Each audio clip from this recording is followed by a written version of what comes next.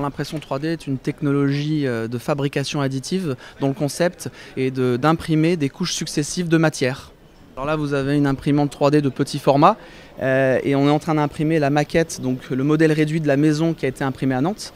Et voilà, donc vous avez un modèle différent d'imprimante, mais le, concept est le même. Hein. C'est-à-dire qu'on voyait ici, on imprime des couches successives de matière jusqu'à arriver à, haut de la maquette. Alors une des premières en France était à Nantes, c'est un projet donc bâti-Nantes, en partenariat notamment avec l'Université de Nantes. Vous la voyez au sein de l'IUT de Nantes.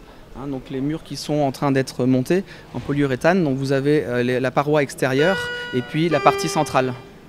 La particularité et l'avantage de l'impression 3D, c'est qu'effectivement on réduit les, délais.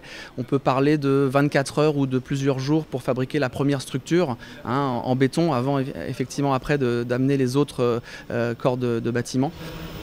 Un des autres avantages aussi qu'on peut avoir grâce à l'impression 3D, c'est de réduire les coûts. On parle d'un rapport de 1 à 10 parce qu'on a besoin de moins de ressources matérielles et moins de ressources humaines. Vous avez un robot au centre avec un bras robotisé, euh, il faut euh, une petite équipe, je dirais moins de 5 personnes.